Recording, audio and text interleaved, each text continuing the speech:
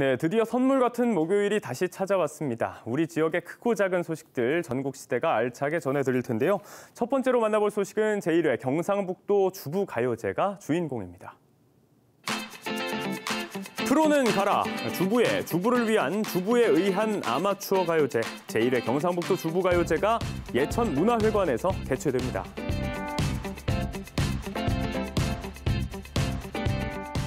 경상북도 제1회 주부가요제 정다은 군이 초대 가수로 가게 되었는데요.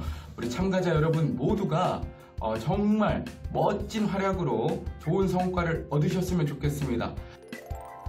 접수 기간은 다음 주 월요일인 11월 15일까지 동영상을 통해 예선 접수를 받고 있는데요.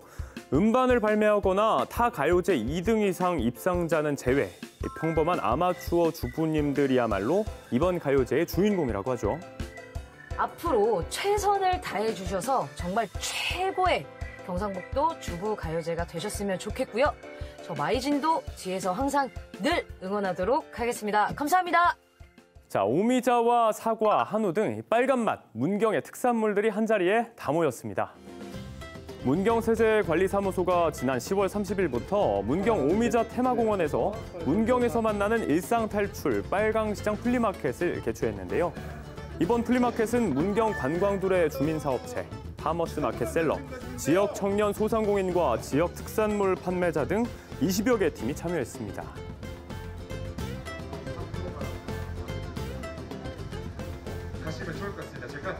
문경의 특산물인 오미자와 사과, 한우, 그리고 가마에서 나오는 붉은 불꽃, 석탄을 태울 때 나오는 붉은 불꽃, 거기서 나오는 그런 빨강이라는 컨셉을 가지고 문경의 정체성을 담아서 이곳 저 문경 세제 입구인 오미자 테마공원에서 장터를 엽니다. 이 빨간 시장 장터는 올해는 11월 13일 마지막이고 이번 빨강 시장은 단순히 물건을 파는 것을 넘어 야외 공연과 레크리에이션, 나눔 이벤트 등 다채로운 프로그램들이 준비되어 있고요. 이번 토요일인 11월 13일 그리고 내년 3월부터 11월까지는 한 달에 한 번씩 상설로 열린다고 합니다.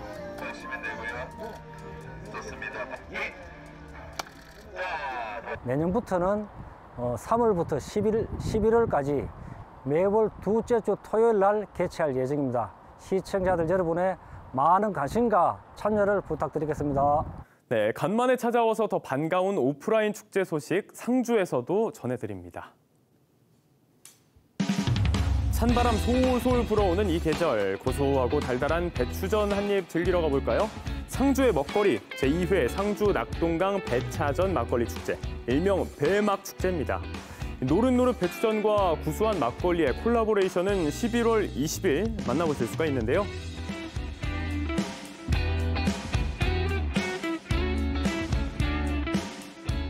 상주의 배추가 유달리 달고 맛있습니다. 고문서 같은 데 보면 어, 배추를 이용한 여러 가지 찜이라든지 전 같은 그런 요리가 있습니다. 그래서 서민 음식이기도 하지만 우리 지역에서 즐겨 먹었던 음식인 것 같아요. 그동안 우리가 이제 그 코로나로 인해서 답답한 심정을 어 이제 좀 깨기도 하고 그리고 또 이 경천섬의 가을 정치를 느끼기도 하고 그러니까 가족과 함께 와서 배차전 굽는 그런 행사에 동참하기를 어 바라는 마음에서 이렇게 한번 어 개최하게 되었습니다.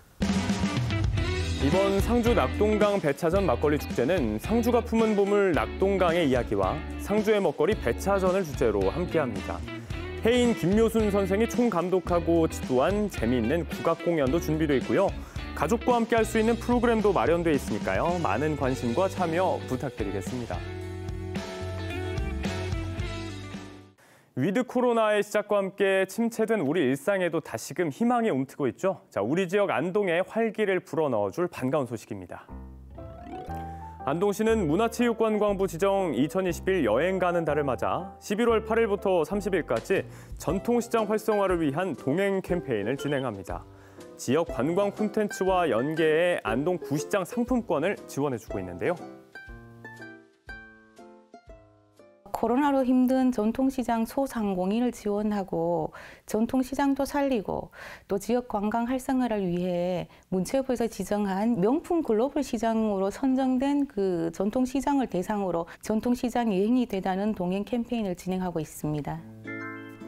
참여 방법은 간단합니다. 시티 투어, 스탬프 투어 등 안동 관광을 즐긴 뒤에 안동 구시장 상품권을 수령하고 열심히 사용해주면 끝! 관광산업과 전통시장 활성화 두 마리 토끼를 동시에 잡은 이번 전통시장 가는 달 동행 캠페인. 안동에서도 여행 가는 달에 맞춰서 특별한 이벤트를 준비하고 있습니다. 안동에서만 생산되는 여섯 종류의 술을 여행하면서 맛볼 수 있는 기승 전술 투어, 또 특별한 추억을 남기고 싶은 분들을 위해 가을가을한 용계 은행나무 아래서 즐기는 낭만 가도 투어, 또 3대 세계 유산을 한 번에 경험할 수 있는 유네스코 투어, 종갓집 종부가 되어보는 종부스쿨의 당일 투어 참가자에게는 1만 원을, 숙박 투어 참가자에게는 3만 원의 안동사랑 상품권을 지급하고 있습니다. 네 가지의 특별한 투어는 안동관광 예약센터 홈페이지나 전화 문의를 통해 즐기실 수 있고요. 투어에 참가하신 분들은 안동 여행과 함께하는 새로운 일상 속 힐링을 주제로 SNS 인증샷 이벤트에도 참여할 수 있으니까요. 참고해 주시기 바랍니다. 여행과 함께하는 일상 속 힐링을 원하신다면 안동이 딱입니다. 안동으로 오셔서 전통 시장도 살려주시고 지역 관광도 살려주시고 여행의 즐거움은 배가 되는 기회 놓치지 마시기 바랍니다.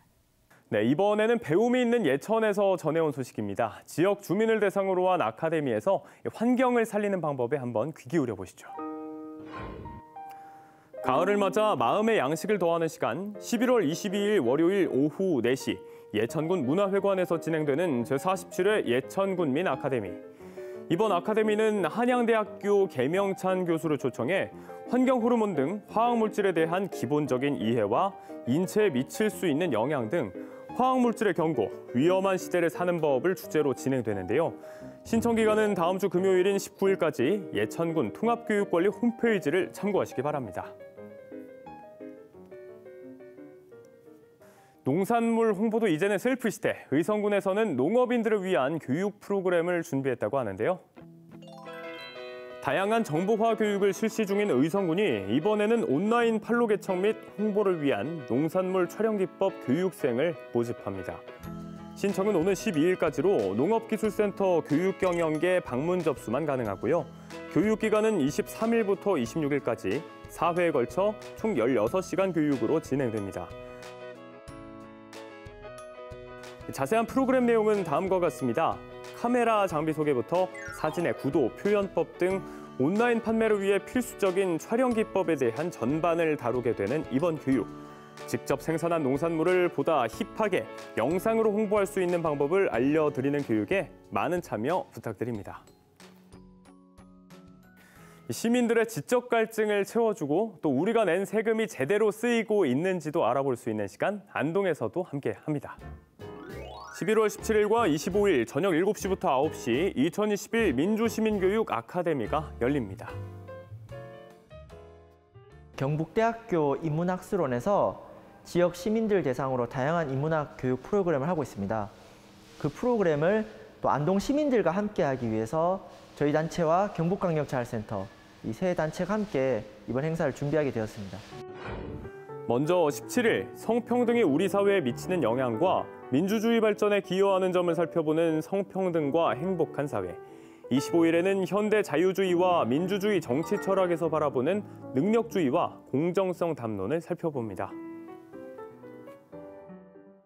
정치적 평등이라는 민주주의적 가치가 다양한 불평등과 마주하지 않습니까? 성별 불평등, 경제적 불평등, 도농 불평등과 같은 다양한 영역을 다루게 되는데요. 이렇게 민주주의가 다양한 분야에 적용되는 부분을 우리 시민들이 함께 한다면 민주주의 자체에 대한 이해도 높아질 뿐더러 특히 지역 민주주의에 기여할 수 있는 다양한 활동들이 되리라 기대합니다. 품격 높은 대화로 더 나은 세상을 만들어가는 시간 13일 토요일 안동시 예산 시민 토론회에서도 함께합니다.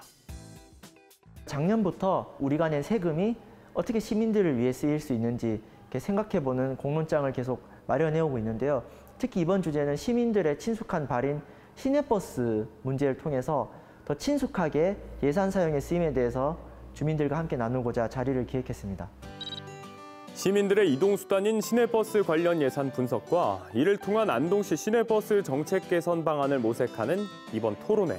다양한 패널들과 시민들이 함께합니다.